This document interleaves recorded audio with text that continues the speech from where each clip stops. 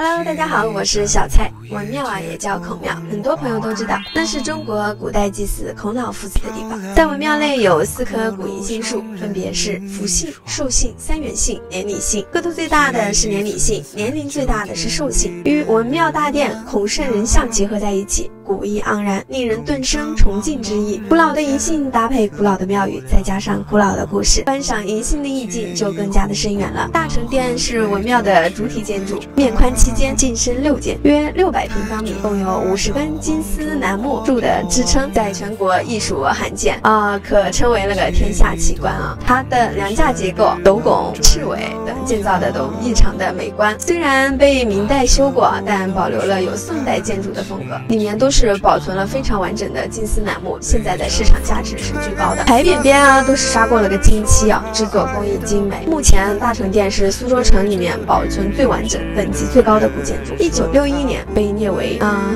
也就是二零零一年啊，然后才开始公布啊，被列为首批全国重点文物保护单位啊。我们这期的视频就到这边了，欢迎大家转发、收藏、评论、关注，爱你们，么么哒。